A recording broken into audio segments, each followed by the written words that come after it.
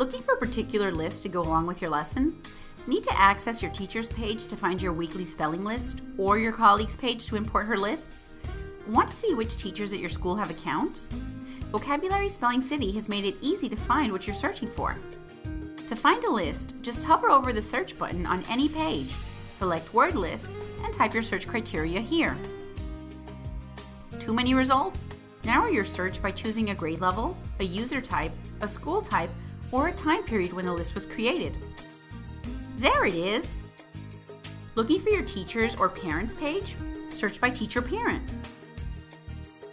If your teacher has a common name, narrow your results by choosing a school type or by looking for a specific school. Here it is! Now you can get to work. Want to see if your fellow teachers have already entered lists that you need? Search by school to access their Vocabulary Spelling City homepages. Just type your school name or zip code here.